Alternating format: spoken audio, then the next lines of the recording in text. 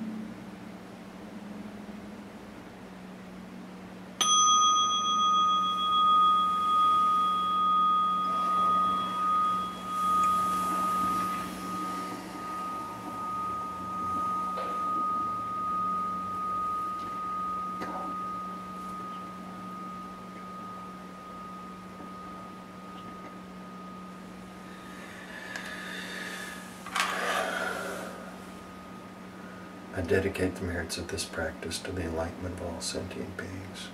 May God bless us and keep us and give us peace.